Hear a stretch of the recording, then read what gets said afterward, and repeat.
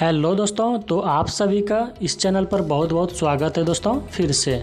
तो दोस्तों, आपको बता देना चाहता हूँ, आज के इस वीडियो में मैं आपको बताऊँगा कि आग क्या है, आग कितने प्रकार के होते हैं, और आग को बुझाने के लिए, किस आग को बुझाने के लिए कौन से अग्निशामक यंत्र का उपयोग किया जाता है। फिर भी दोस्तों, कोई क्वेश्चन हो तो कमेंट करिएगा, मैं उसका रिप्लाई दूँगा दोस्तों। और दोस्तों, मैं आपको बता देता, बता देना चाहता हूँ, पुणे, महाराष्ट्र में सिक्योरिटी गार्ड की वैकेंसी आने वाली है दोस्तों, जिसका हमको जानकारी मिलते ही आपको वीडियो प्रोवाइड की जाएगी। तो दोस्तों, चैनल को सब्सक्राइब ज़रूर कर लीजिएगा और साथ ही साथ बेल आइकन को प्रेस कर लीजिएगा। इससे क्या होगा दोस्तों, मैं जो भी वीडियो ले करके आ जाऊँगा, उसका आपको नोटिफिकेशन सबसे पहले मिल जाएगा। चलिए दोस्तों, वीडियो स्टार्ट करते हैं। हेलो दोस्तों welcome back to the my channel दोस्तों, सबसे पहले हम ये जानेंगे कि आग क्या है? जी हाँ दोस्तों, हम इसको सबसे पहले क्लियर करेंगे, उसके बाद आपको बताएँगे कि आगे की जानकारी।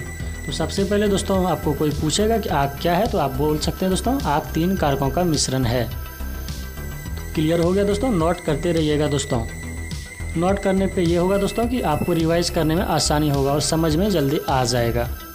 चलिए दोस्तों, अगर आपको कोई पूछ दे कि आग कैसे लगती है तो आप उसका आंसर इस तरह से दे सकते हैं। अगर किसी स्थान पर ऑक्सीजन, ईंधन व उष्मा एक जगह पर मिल जाते हैं तो वहाँ आग लग जाती है। आप इस प्रकार से आंसर दे सकते हैं।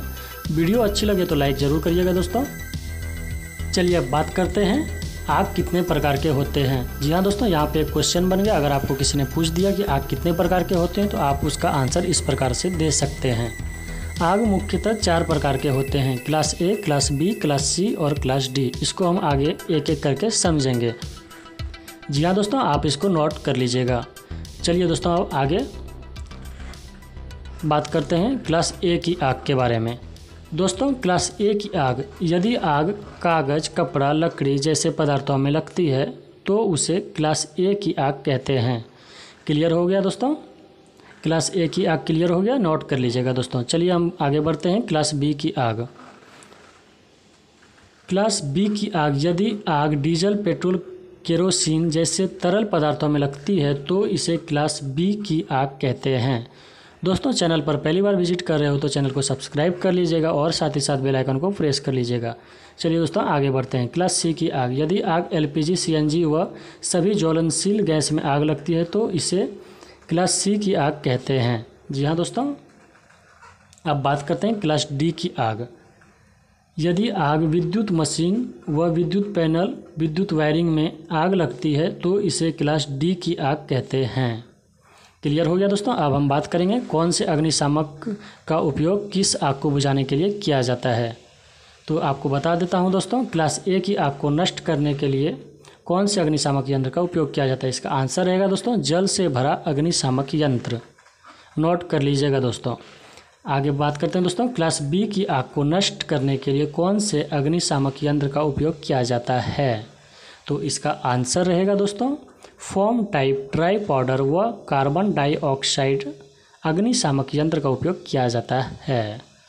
वीडियो को लाइक कर दिएगा, कर दीजिएगा दोस्तों। क्लास सी की आग को नष्ट करने के लिए कौन से अग्निशामक यंत्र का उपयोग किया जाता है? इसका आंसर रहेगा दोस्तों, ड्राई पाउडर अर्थात सूक्ष्म चूर्ण अग्निशामक यंत्र का उपयोग किया जाता है। ये यहाँ पे क्वेश्चन हो गया दोस्तों, उसका आंसर भी हो गया नोट कर लीजिएगा। क्लास डी की आग को नष्ट करने के लिए कौन से अग्निशामक यंत्र का उपयोग किया जाता है? तो इसका आंसर रहेगा दोस्तों कार्बन टेट्रा क्लोराइड अर्थात सी टी सी अग्निशामक यंत्र का उपयोग किया जाता है। तो दोस्तों, आज के इस वीडियो में मैंने आपको बताया कि दोस्तों, आग कितने प्रकार के होते हैं और उस आग को बुझाने के लिए कौन से अग्निशामक यंत्र का उपयोग किया जाता है।